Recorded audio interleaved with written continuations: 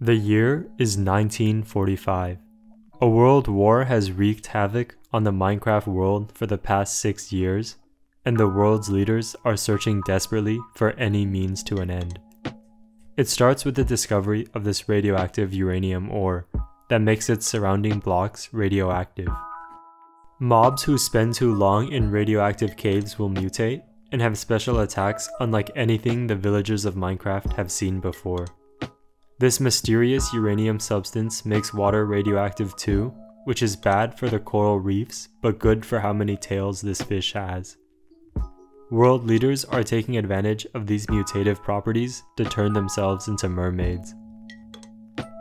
Radioactivity has affected the world's crops too, and irreparably changed the way the villagers that eat from these crops look. This mutation mechanic isn't always the same either. Players in this world can build up their tolerance by slowly eating more and more radioactive animals, and will know that they're radiation proof when they've fully grown a second head. This means the player can mine uranium and make uranium blocks, which are a source of energy that is much more powerful than redstone.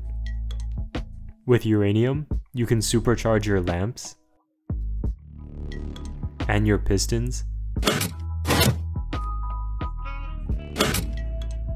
and you can craft a new form of TNT that could end the Minecraft World War.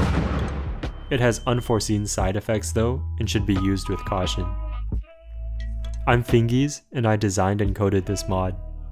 I'm releasing the download link when this video hits 1000 likes, so like and subscribe so you don't miss my next mod, the hot and sweaty update.